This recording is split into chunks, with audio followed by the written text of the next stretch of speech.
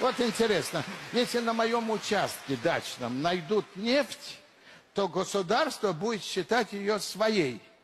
А если коноплю, то моей. Парадокс. Если идет снег, значит, скоро будут класть асфальт.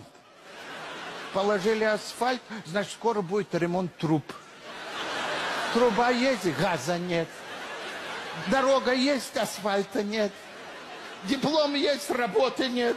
Работа есть, зарплаты нет. Зарплата есть, денег нет. Денег нет, но вы держитесь.